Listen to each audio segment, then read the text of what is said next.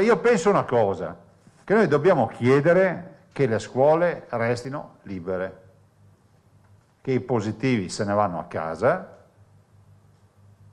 ormai il virus è endemico, una conferenza stampa dopo più di una settimana di silenzio per l'impegno con il Quirinale e in tre assunti il presidente Luca Zaia recupera andando dritto al punto. I dati, spiega, ci dicono che il virus è diventato endemico. Non va banalizzato certo, ma è evidente che gli effetti clinici, grazie anche ai vaccini, non sono più gli stessi. E così aggiunge.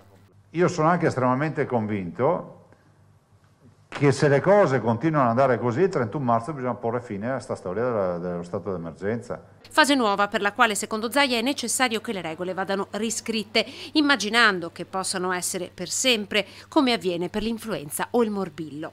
Il modello, dopo verrà fuori un sacco di riflessioni per queste robe che dico, il modello che avevamo noi da piccoli, morbillo, funzioni. Se c'era un compagno di classe che si beccava il morbillo, come, cosa si faceva? Andava a casa tutta la scuola? Stava a casa, lui si metteva in isolamento. E dovrà accadere così. Concentrarsi sui sintomatici per cambiare i piani di sanità pubblica anche alla luce di un contact tracing non più gestibile. Su una cosa invece il governatore, mantenendo la linea di partito, è in disaccordo con la linea nazionale, la discriminazione tra bambini vaccinati e non. Non condivido la discriminazione nelle scuole tra vaccinati e non vaccinati. Ma ve lo dico perché se il principio è il positivo sta a casa, non è che devo andare a cercare quello che non è, non è positivo ma non è vaccinato, deve stare a casa anche lui, perché sennò non finiamo più. Serve dunque per Zaia concentrarsi sui sintomatici. Esclude l'ipotesi di poter arrivare a vaccinare anche i bambini sotto i 5 anni, come sembrerebbe oltreoceano Pfizer stia cercando di far autorizzare.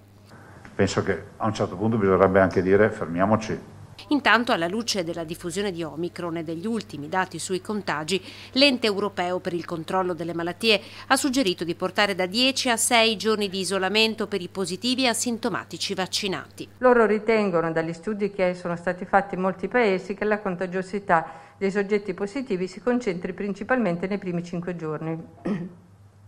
e quindi questo insomma, ci aiuterebbe ad adottare le misure.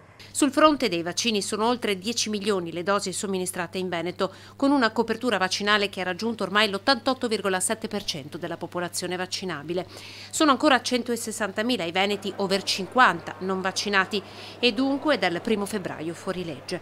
Per semplificare una procedura ancora faraginosa legata alle sanzioni, l'assessore alla sanità Lanzarin annuncia l'emendamento presentato in Commissione Salute che chiede la pratica sanzionatoria salti il passaggio delle ULS ma rimanga in capo interamente all'Agenzia delle Entrate, che autonomamente può verificare se il cittadino è in possesso o meno di esenzione dall'obbligo vaccinale per motivi di salute.